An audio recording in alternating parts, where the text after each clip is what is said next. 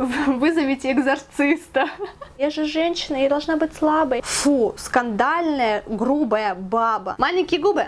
Закачай. Маленькие сиськи? Закачай. Маленькая жопа? Закачай.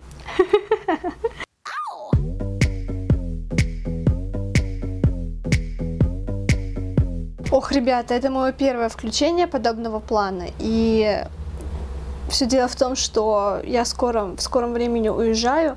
У меня нет просто желания, если честно, выставлять какие-то определенные ракурсы. На заднем плане у меня лежит книга, которая по-любому вызовет у многих противоречия, и кто-то не согласится со мной ни в одном из э, сказанных мною слов, но мне просто очень хочется поделиться своим впечатлением, просто то, как я это представляю.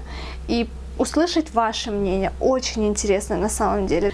В общем, когда я книгу эту увидела на прилавке, я подумала о том, что было просто интересно узнать, что такое феминизм поподробнее. Я думала, что это будет что-то такое грубое, что-то такое как вызов обществу, вызов другим о том, что я не такой, как все. На самом деле, вот посмотрите, сколько вкладышей. Вы только на это посмотрите. Ее слог, ее то, что она пишет, это очень понятно, это очень просто. Когда я прочитала пару страниц, буквально парочку, я поняла, что это мой автор. Не всем нравится такое, потому что не все воспринимают в книгах э, гру грубость. Здесь не было матов, но здесь были такие слова, которые не во всех книгах встречаются. Ее шутки, ее вот человеческие фразы абсолютно жизненные, они встречались уже на первых пяти страницах. Это я прям смеялась в голос серьезно, когда читала, потому что это было так жизненно, так смешно подмечено, что просто супер. Плюс эм, этот юмор, он не был плоским или глупым. В ее юморе, в ее шутках встречались такие фразы, такие слова, что я серьезно гуглила некоторые, потому что я не знала их смысл. То есть настолько глубокий и умный юмор, встречается, но это, мне кажется, редкость. Я не особо до этого читала, прям, что такое феминизм, разные теории, я просто знала, что это по определению. И по определению я считала себя таковой. Когда я прочитала эту книгу, я реально убедилась, что я феминистка. И давайте будем лояльны, давайте будем толерантны.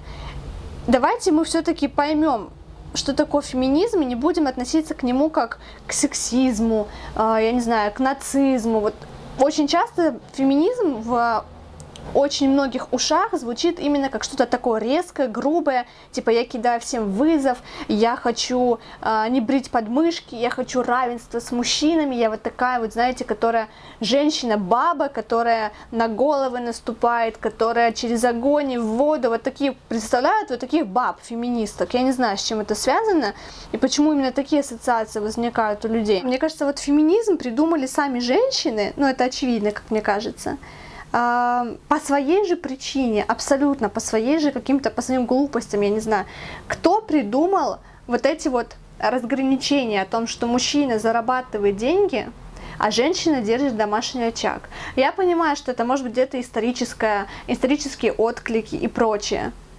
Но Почему-то мы живем в 21 веке, все пользуемся гаджетами, все пользуемся ново нововведениями, технологиями, нам всем это очень нравится, но до сих пор откликаемся в прошлое. И тут не о, о каких-то традициях речь. Понимаете, здесь вопрос даже не о том, что женщина посягает на какую-то там часть мужчины и хочет равенства. Здесь тоже и в обратную сторону. Я думаю, и мужчины тоже могут поменять свое отношение и свою жизнь. Здесь просто равенство, наверное, двух полов. Если э, есть семья и комфортное существование в ней это работает женщина, а мужчина сидит в декрете с ребенком, что зачастую можно видеть в американских семьях, пожалуйста, вот вам тоже проявление некого феминизма. Женщины зачастую склонны э, создавать стереотипы о, о женщинах. А, к примеру, да, женщины мыслят э, эмоциями, они чувствуют, поэтому они не могут занимать какие-то высокие должности, потому что Мартин, что такое? Почему, когда я сажусь снимать видео, всем что-то нужно, что-то происходит? Женщины чувствуют, они думают эмоциями, они не могут занимать высокие должности, потому что они не смогут в какую-то в какую-то сложную ситуацию принять рациональное решение. Это бред, это неправда. Это это процент людей, которые это могут делать. Но то же самое, что и мужчины. Не всегда же мужчины все могут занимать а, высокие должности, потому что мужчины тоже бывают разные, так и женщины, они тоже бывают разные. Просто принято считать, что женщины в этом плане слабый пол, и, соответственно, процент тех вот дебильных женщин, которые чувствуют эмоциями на работе, их больше. Откуда это сложилось, я не знаю, где статистика это просто вот такой вот почему-то стереотип, да. В то же, а, в то же самое время стереотип о том, что женщина за рулем это а, обезьяна с гранатой. Это же сами женщины ввели, мне кажется, это понятие. Потому что процент а, нормальных женщин на дороге и дебильных мужчин на дороге, он равный. Если вы видите что-то ненормальное на дороге, не всегда женщина за рулем, иногда и мужчина. Но почему-то, когда мужчина глупый за рулем, а, его там как-то крикнут, что-то скажут, и все, и об этом забудут. Но если женщина за рулем, то в любой а, следующей ситуации будет это, этот процесс, не знаю, увеличиваться. То есть будет говорить, о, опять баба, о, опять баба, ну понятно, обезьяны с гранаты. А хотя, если женщина нормально себя ведет на дороге, не создает каких-то аварийных ситуаций, ее даже иногда не замечают как водителя, потому что она нормально себя ведет на дороге, но дебильных замечают сразу. И зачастую сами девушки э, представляют себя такой, такой вот лучше типа прикинуться дурочкой, если что произойдет, я же такая слабая, я же такая вот уси-пуси, если я в кого-то врежусь или что-то произойдет, я выйду, поплачу, ножками потопаю, вот лучше я буду слабой, я же женщина, я должна быть слабой, или там я могу краситься в машине, ну и что, я же женщина, мне все с рук сойдет, мне все с рук. Вот зачастую девушки мыслят именно таким образом, зачастую сами девушки, сами женщины виноваты в том, что а, к ним такое отношение отношения. Девушки позволяют себя обижать, девушки позволяют себя унижать, оскорблять. То есть считается, что если девушка ответит на грубость грубостью, она баба. Фу, скандальная, грубая баба. Женщина должна, нормальная женщина, промолчать. Я согласна, что умный человек в какой-то ситуации промолчит. Он лучше промолчит, чем будет вступать в, какой-то, в какой-то конфликт. Но бывают ситуации, я говорю, оскорбления, да, какие-то грубые, унижения. И женщине принято молчать. Потому что ты женщина, и если тебя оскорбляет мужчина, то мужчина прав. Что? С чего вдруг? Данная книга, она так подробно описывает. Вы не думаете, что я после этой книги сразу изменила свое мнение? Нет, это было давно-давно, поверьте, заложено во мне. Просто она подтвердила мои слова, она рассказала... Во-первых, она рассказывает о своей жизни полностью с 13 до 35 лет. И она затрагивает очень важные аспекты жизни. То, как она в детстве воспитывалась, то, как в какой семье она была, какие окружающие факторы на нее воздействовали, как она себя чувствовала, проблемы такого женского характера, типа, знаете, туфли, лифчики, э, прокладки и прочее, да, месячные, что это такое, почему по поводу этого такое табу вообще накладывается, что там женщины иногда в магазинах стесняются попросить прокладки, и прямо они вот тоже, прокладки, что вы такое, стесняются в обществе сказать слово месячные, хотя никто а я думаю, не говорит э, с подругами, типа менструальный цикл, все используют нормальные слова. Интересно, кстати, говорит про, про детей. Считается ненормальным, если девушка говорит о том, что нет, я пока не хочу детей, я хочу добиться чего-то на работе, я хочу просто стабильность, да, какую-то, не знаю, обрести. Почему а, женская значимость теряется, когда а, у нее заканчивается период, когда она может воспроизводить потомство. То есть 50 плюс-минус, там, наверное, 5 лет, все.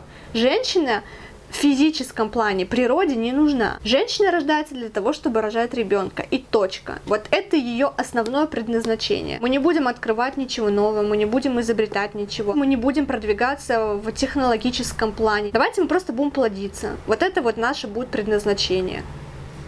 Это, это будет правильно, вы считаете? Человек, рожденный в не то чтобы несчастье, а в нежелании он никогда не будет счастливым. А вот вы знаете, что потом у вас будет меньше возможности родить, а вот вы знаете, да все все знают, все все прекрасно знают. Не надо об этом говорить, следите лучше за собой. Зачастую у женщин э, с подросткового возраста уже возникает ощущение, что нет сил, что я не смогу, что вот а, Петя может, потому что он мужчина, а я не смогу, потому что я женщина. Девушки не могут ничего добиться именно из-за своих установок в голове, что нет, это непозволительно, девушка так не может этого делать.